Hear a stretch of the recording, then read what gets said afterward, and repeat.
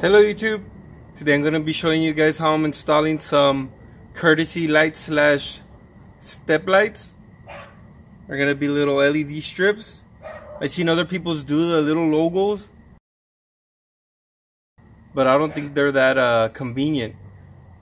So I'm going to be teaching you guys how I'm doing mine. So make sure you guys uh, stay tuned and here we go.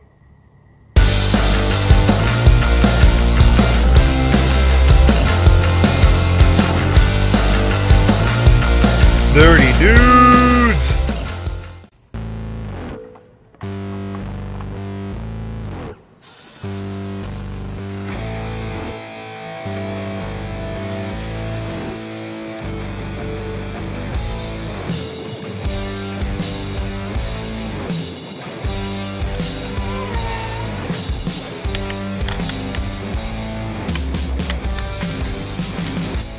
So now that I have the door panel off, I'm gonna be replacing the clips.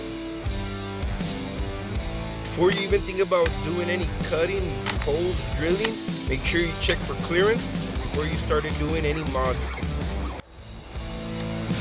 I also want to add, if you want to see the complete video of me installing and removing the door panel on a 2004 Chevy S10 Blazer, check out the link popping up in your screen. So these come with a M3 tape. What I'm gonna do is make sure I put it where I know it's not gonna rub or interfere with anything. But before I do, I'm gonna clean it with some brake cleaner. I'm actually not gonna put this in the door panel. I'm actually gonna use a cloth and clean it. Cause this is really strong. It'll probably, this could um, actually damage the plastic.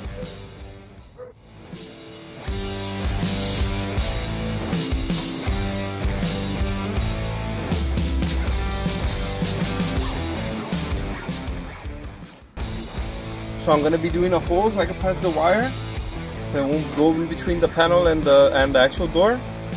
So it can look a little bit more sleek. Like I said, always double check. Make sure you guys don't forget to like, subscribe, and share. And always feel free to leave a comment.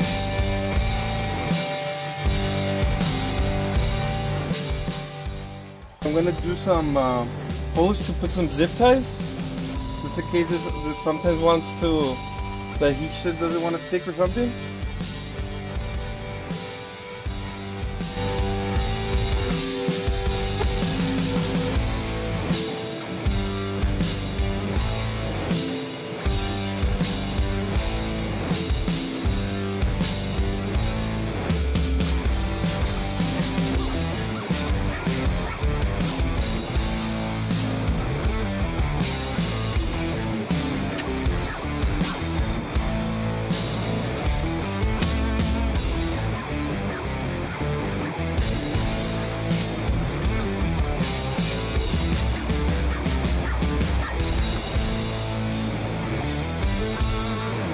So I'm gonna be using some connectors just in case I need to remove the door panel.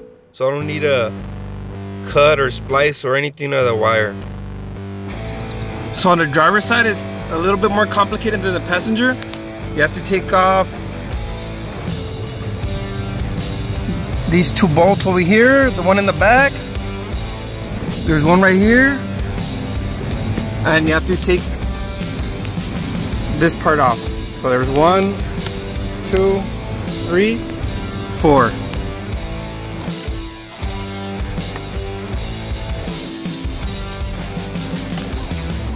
So I passed the wires through the frame through the outside to the inside and they came out through here close to the brake lever.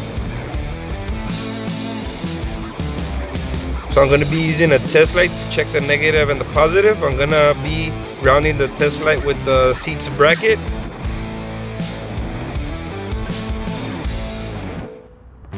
So the white looks to be the negative and the orange is the positive. And this light's hold by one uh, bolt.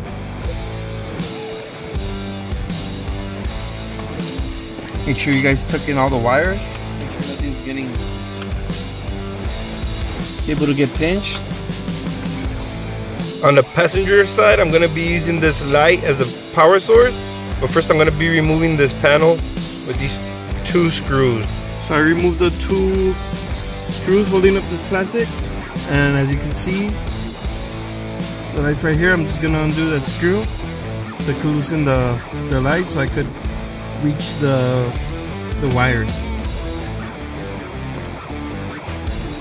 That's gonna be my light source. I'll probably use the, the negative and the positive like I used on the driver's side.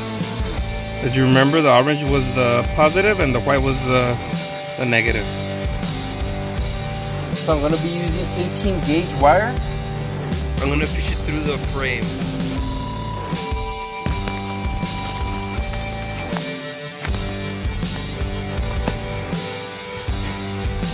And I'm just gonna tuck in all the wires, make sure you don't uh, pinch any of the wires. Well, there you go guys.